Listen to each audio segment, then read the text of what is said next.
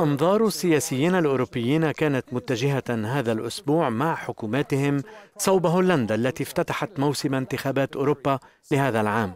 الزعيم الليبرالي الديمقراطي مارك روتي حقق فوزا وجاء حزبه في الطليعة. المتطرفون ازداد عدد مقاعدهم ثلاثة أضعاف في مجلس النواب الهولندي لكنهم خسروا رهانهم بالحصول على الأكثرية. ما هي العبرة التي يجب أن يستخلصها الأوروبيون من هذه الانتخابات؟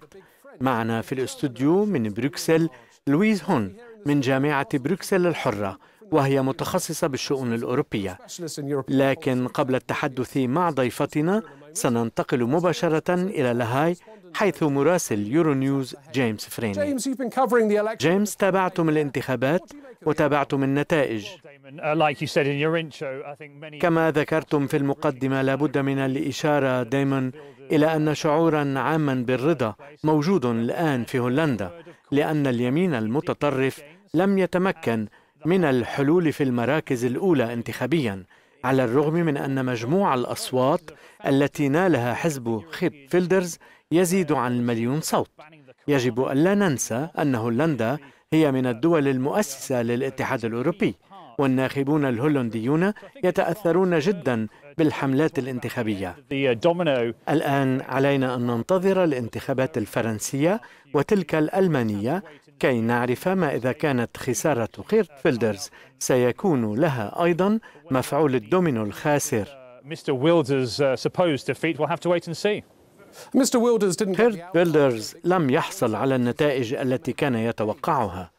ما هو أثر ذلك على السياسة العامة في هولندا؟ اليمين المتطرف الهولندي زاد عدد نوابه لكنه قبل الانتخابات تمكن من جعل بعض السياسيين يغيرون في مواقفهم حول الهجرة والمهاجرين واللجوء. والعلاقات مع تركيا. لقد كان اليمين المتطرف حاضرا بقوة في الحملة الانتخابية وطبع جدول أعمالها منذ بدايتها. أما بالنسبة لسؤالكم عن السياسة المستقبلية الهولندية فعلينا أن ننتظر لنعرف كيف سيكون عليه الائتلاف الحكومي. معروف أن تشكيل الحكومة قد يستغرق وقتا. هنا في لاهاي يتحدثون عن ائتلاف بين اليساريين وحزب الخضر الذي يديره جيسي كلافر لكن لا شيء مؤكد حتى الآن علينا أن ننتظر But that's all to be, uh, those discussions to be had over the next, uh, uh, the course of the next few weeks. We'll have to wait and see. شكرا جيمس. مراسل يورو نيوز في لاهاي نعود إلى استديوهاتنا لنتحدث مع الخبيرة بالشؤون الأوروبية الباحثة لويز هون من جامعة بروكسل الحرة. كيف تقرأ نتائج الانتخابات الهولندية في باقي دول أوروبا؟ في أوروبا ينظر إلى نتائج الانتخابات الهولندية بأنها رفض للشعبوية ورفض للتطرف. إنها أيضا رسالة موجهة إلى ألمانيا وفرنسا وهي رسالة رمزية كبيرة. من جهة ثانية علينا أن نتعرف على ما يريده المقترعون الهولنديون من خلال النظام الانتخابي الهولندي حيث التمثيل النسبي دقيق جدا لدرجة لا مجال فيها لأية دورة ثانية لترجيح مرشح من اثنين. إذا يمكن الاستنتاج أن لا فائز كبير في الانتخابات الهولندية في ظل قانون انتخابي كهذا لقد ذكرنا الانتخابات الألمانية والفرنسية وتلك الهولندية كانت بكورتها ما هو برأيكم تأثير هذه الانتخابات على اليمين المتطرف في ألمانيا وعلى حزب الجبهة الوطنية في فرنسا؟ ما الذي سيفكرون به اليوم؟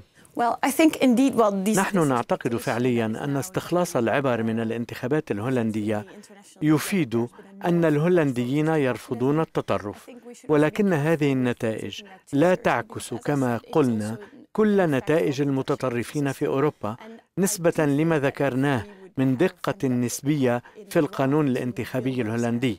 ربما لو كان الاقتراع منحصرا بين مارك روتي وخيرت فيلدرز فقط لربما كانت النتائج مغايرة تماما.